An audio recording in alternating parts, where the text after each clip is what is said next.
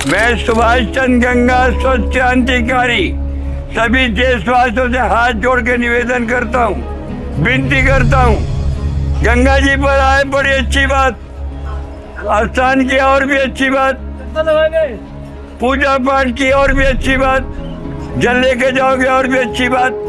लेकिन ये पन्नी पैरोथीन पुराने कपड़े जो गंदगी छोड़ के जाओगे, ये बहुत बुरी बात। बाबा के पास आओ निःशुल्क चटाई ले जाओ और वहाँ पीछे जाओ। लेकिन वहाँ पे गंदगी ना फैला के जाओ। सनातन धर्म हिंदू समाज में माँ की दो बूंद बगैर कोई भी विधि विधान का कार्य नहीं होता। होता हो तो बड़े बड़े विद्वान से पूछ के बता दो। आज जब कोई बुज़ुर्ग भी अंतिम सांस लेता है तो क्या कहते हैं, दो बूंद मुख में गंगा जल दे, दो मोक्ष मिल जाएगा। लास्ट में भी पोटली बन के गंगा जी के गोद में ही आता है। फिर गंगा जी पे गंदगी क्यों?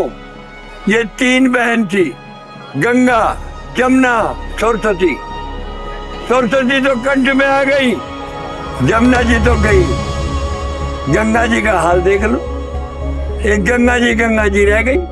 वो भी चार किलोमीटर जाकर के गंदगी का बुरा हाल। ये तो यहीं बची हुई थोड़ी सी अब हमारे भक्तों को एक ही जागना है। और जगाया तो उनको जाता जो नींद में सोते। क्योंकि रावण तो जाग रहा था तो तो कुंभकर्ण रहा था। तभी तो कुंभकर्ण ने कहा था कि भैया, मैं तो सो रहा था, तुम तो जाग के भी सो रहे थे। तभी तो हम जाग के सो रहे, तभी तो माँ का ये हाल हो रहा। अभी तीन दिन पहले दस दस ट्रैक्टर यहाँ से गंदगी के गए हैं दस दस ट्रैक्टर। तो दो चार ट्रैक्टर गंगा जी में भी गए होंगे। तो भैया, मेरा तो आपसे यही निवेदन है, स्वच्छता की ओर एक कदम बढ़ाना है और गंगा जी को स्वच्छ बनाना है। जय हिंद, जय भारत।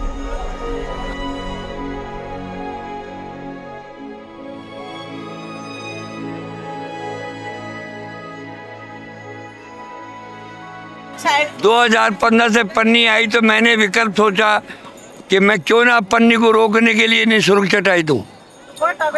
अगर सौ नहीं बदलेंगे दो बदलेंगे धीरे धीरे तो कुछ बदलेगा लेकिन ये पन्नी बैंड नहीं हो सकी। ये सुप्रीम कोर्ट से भी बैंड है हाई कोर्ट से भी बैंड है केंद्र सरकार से बैंड है राज्य सरकार से बैंड है। सब जगह से तो ये बैंड है। लेकिन मेरी समझ में नहीं आता बिक क्या देश से रही है? पन्नी ये ऐसी चीज़ वस्तु है। गंगा जी की मछली भी गई। पर्यावरण को इससे नुकसान पेड़ पौधा नहीं उगेगा। इससे तो कोई फ़ायदा, लाभ है ही नहीं। और पन्नी पैलोसीन तो मुद्दों से हमारे प्रधानमंत्री जी भी नमामि गंगे के लिए बहुत कुछ कर रहे हैं। पचास हज़ार करोड़ एक दिया, बीस हज़ार करोड़ एक दिया। तीस हज़ार एक करोड़ एक दिया। यहाँ तो डस्टबिन भी नहीं है, वो पैसा गया कहाँ? वाइफर भी नहीं है। देख लीजिए डस्टबिन है ही नहीं यहाँ पर। कूड़ गंदगी डाली, रख दो भैया, ले जाओ। तो मेरा सभी से एक निवेदन है, गंगा जी को बचाना है तो एक स्वच्छता की ओर कदम बढ़ाना है। संकल्प तो रोज लेते हैं। एक ऐसा संदेश देश को जाना चाहिए कि एक संकल्प लो, ना तो गंदगी करो और न करने दो। कोई करता तो रोको भी और टोको भी, और इस पर भी नहीं माने तो पकड़ के ठोको भी। क्योंकि जब भारत माता को आज़ादी ली थी, वो तो गुलामी थी। जब आज़ादी ली थी तो कितने ठुके थे, कितनों को ठोका था, गिनती किसी को याद हो तो मुझे बता दो।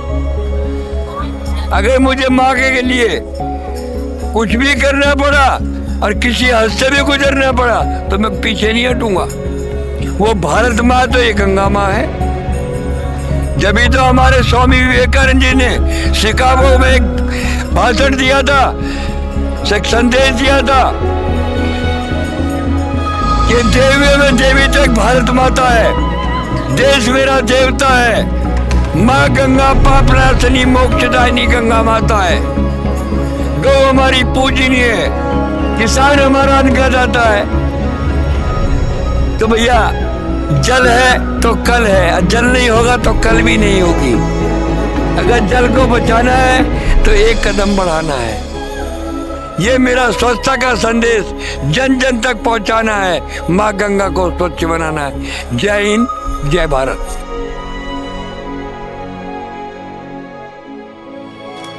श्रद्धालु है अपने पाप धोने के लिए आते हैं पर ये जो प्लास्टिक का जो है उसको क्या बोलते हैं? छिंडी। तो वो कपड़े की सफ़ाई के के लिए वो रखते नीचे। और बाद में गंगा मैया को वो गंदगी दे, देने दे के जाते तो वही बहुत बुरी बात है। तो वो नई बात वो हमें बाबा से बार बार सुन के फिर हमारा ध्यान गया है।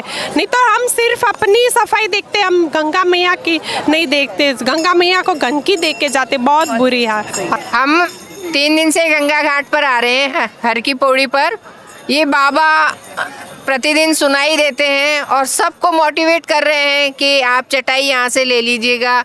इस पर आप अपने कपड़े रखिए बैठ भी जाइएगा। और ये जो सेवा दे रहे हैं। फ्री में सेवा दे रहे हैं। और आप ये देखिए कि ये जो पन्नियाँ लेते हैं यहाँ की यहीं सब लोग छोड़ करके चले जाते हैं। इस तरह से घाट पर गंदगी बहुत होती है जिसको कम करने के लिए। और पब्लिक को मोटिवेट करने के लिए बाबा दिन भर बोलते रहते हैं दिन भर बोलते रहते तो हमारा फ़र्ज़ बनता है कि हम प्रदूषण नहीं फैलाएँ और यहाँ आए और माँ का आशीर्वाद लें। हाँ एकदम सेवा कर रहे हैं जनता का सेवा कर रहे हैं बहुत अच्छा है।